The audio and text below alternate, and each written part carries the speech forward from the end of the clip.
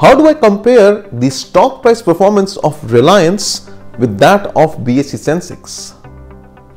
How do I compare the stock price performance of Infosys with TCS and Nifty over a period of time? How do I make an apples to apples comparison of stock prices of different companies? Hello friends, I'm Himanshu Jain. I'm one of the co-founders of the Wall Street School. When we start teaching finance to the students, many of the students are not aware as to how to compare the stock price performance of different companies over a period of time by rebasing them and bringing them to the same base.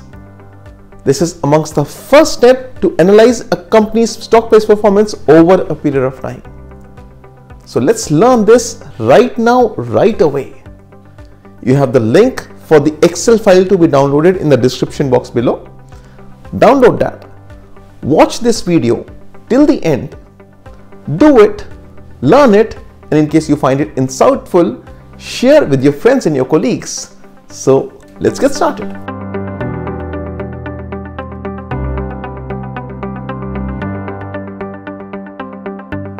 Hello friends and welcome back. This is the third video in the series of Basics of Excel. Before watching this video, I would encourage you to watch the first and the second video of basics of Excel for a better comprehension in case you have not watched it as yet. In case you watched it, fantastic, you can watch this video, it will be better learning for you. What we're going to cover in this video is how to analyze a particular company's stock price performance over a period of time. So this Excel is in the downloadable format uh, in the link of this uh, video. So here you go. Let's start. Now you see this data. This is the historical data of adjusted stock price of publicly listed companies. So I have the Nifty 50 data uh, for the last five years starting from 2018 till end of 2022.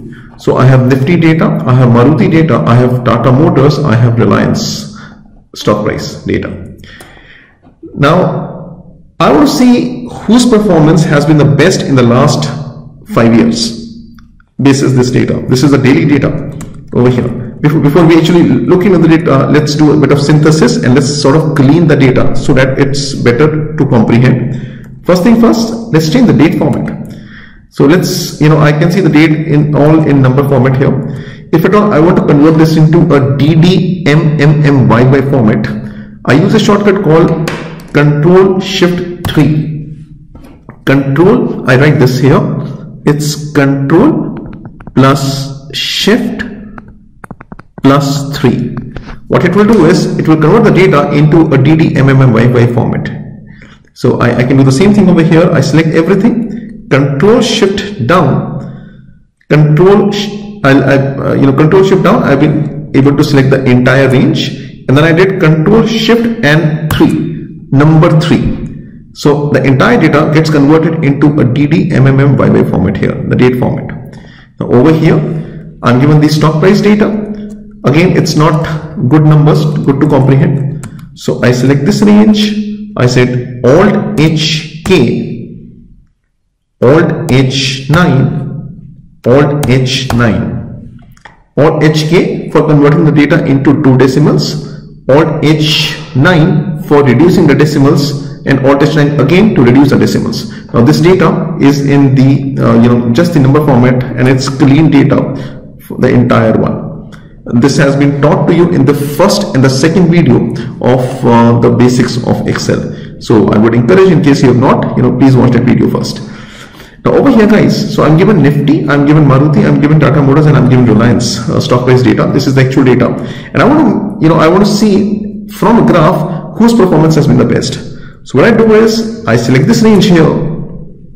I said Alt and then I said N because I want to uh, over here. This is the shortcut N and I want to make a line chart here. So the shortcut is N1 and I make the first line chart it gives me a data over here like this. All n and then n1 I make a line chart here. Now you see this. I made a line chart here. The one in dark blue is nifty. Then you have Maruti, then you have uh, Reliance, and then you have Tata Motors. So whose performance has been the best?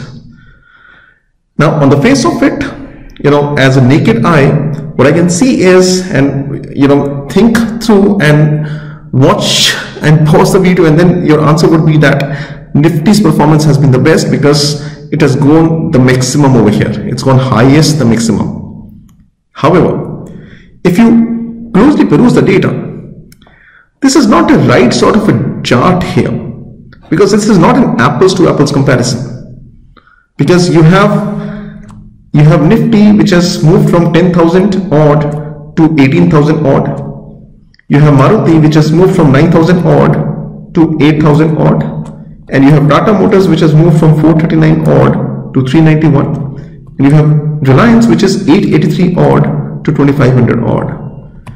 Now this is not an apples to apples comparison. How do I make make things out here? And this is not the right chart. On the face of it, it looks nifty, but I do not know. Let me check it.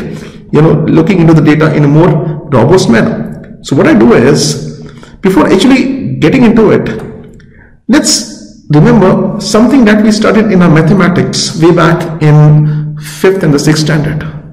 Remember we did something like this. We learned that in case you know uh, the price of 10 apples is 20 what's the price of 15 apples remember we used to do something like this here in our fifth or sixth standard of our mathematics so what we did was it was a unitary method that we had learned that the price of 10 apples is 20.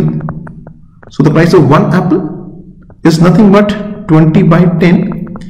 And what's the price of 15 apples? You would cross multiply this. So 20 by 10 into 15.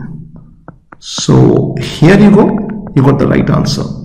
That the price of 15 apples is 30 rupees. That was the unitary method that we had learned in our you know, fifth or the sixth standard of our mathematics. We are going to apply the same unitary method, you know, over here, you know, in trying to address this. And how do I do that? So this data is downloaded from Yahoo Finance, uh, you know, on a daily basis uh, for five years. So what I'll do is I'll insert four columns. Control Shift Plus, I've been able to insert four columns here. You've learned this in the shortcuts in the first video. I copy the headings here. Here you go.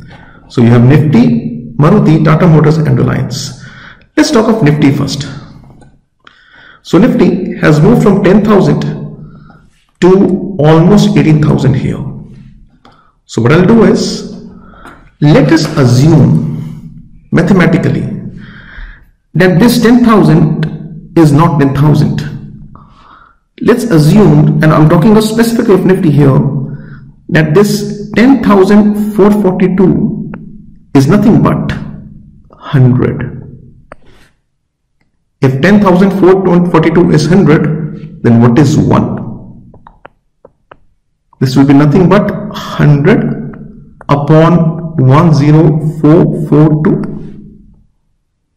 And then what is this 443? This will be nothing but 100 upon 442, 10 442 into 10443. So this number will be slightly, very slightly more than 100. Let's check this here. So what I'm saying is, let's assume that this 10,442 is 100 and I have the same number here and I fix it. I fix it, fix the denominator using F4 key on my laptop. So I get this dollar sign here, I get this dollar sign here. So I fix this cell here and I said into 100. Here you go. It gives me a date format because, uh, you know, I have just, you know, inserted four columns here. So how do I convert this into a number format? I said Alt H K. Alt HK I get converted into a number format Alt plus H plus K. We have done this in the first video of basic Excel. In case you have not watched, not watched it, just, just look into this again. So I get this 100 here, same logic. of the same Apple example which I gave you. Now, if this is 100 and if at all I drag it down, I copy this and bring it down here. If 10,442 is 100, then 10,443 is slightly more than 100. And if at all I drag it down, Control C and Control V, I go down. Then what is 10,505?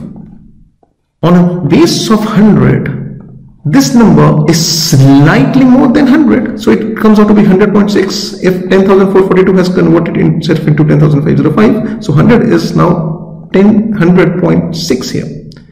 And if at all I drag it down till the end control C left key and here you go. Here you go. What I did was I'll, I'll just do, do it I repeat what I did. Without using the mouse I copied the formula control C I went on the left hand side, control down, I reached extreme bottom, right arrow key, control shift up arrow key, control V. So I pasted the formula. You may want to pause this video and watch it again and then do it on your Excel so that your speed with respect to Excel becomes better. So here you go.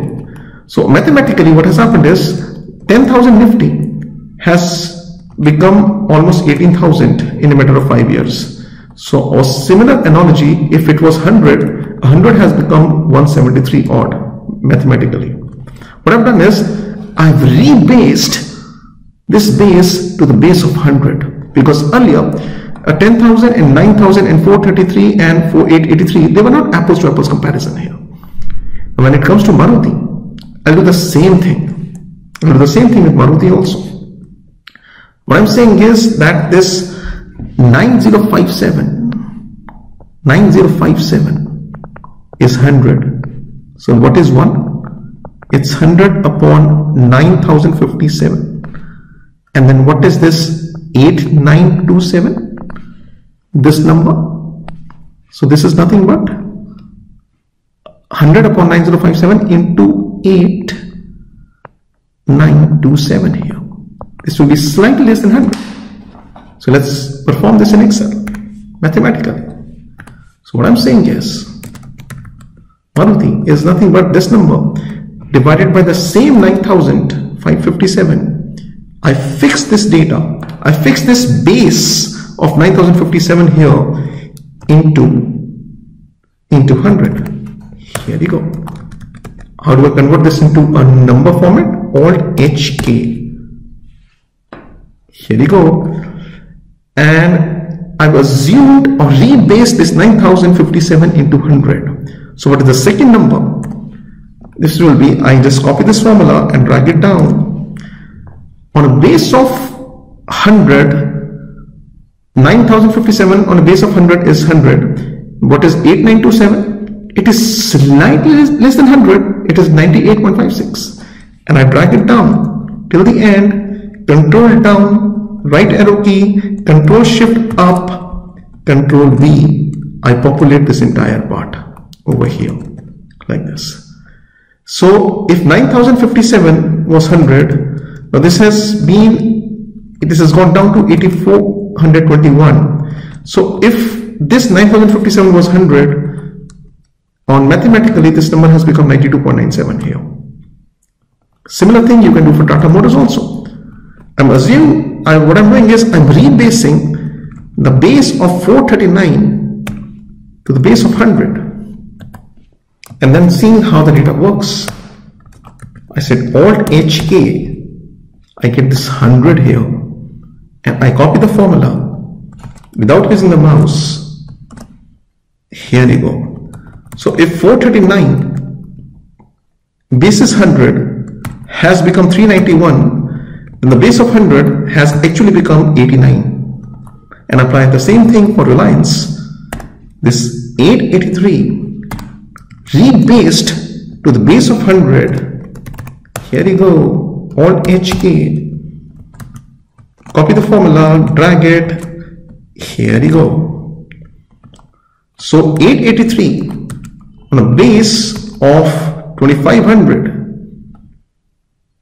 now this 100 has become 288 when the data was rebased to the base of 100 so what essentially has happened is the starting point of all the four parameters is 100 the starting point of all the four parameters is 100 what I've done is I have rebased the data to the base of 100 and now if at all I make a chart for this data, Alt N and N1, here you go and make the chart. And now you see this.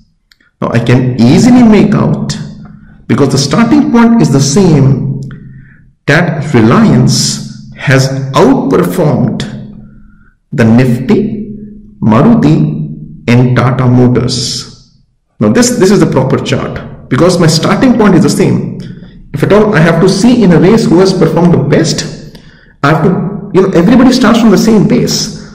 So everybody starting from the base of 100. So what I've essentially taught you is how do you rebase the data on a same base, bringing them to a common ground and then seeing whose performance has been the best over a period of time. if at all you had to solve it with a single formula, I mean, if at all I had asked you to solve this with a single formula, by putting one single answer over here, how would you solve it?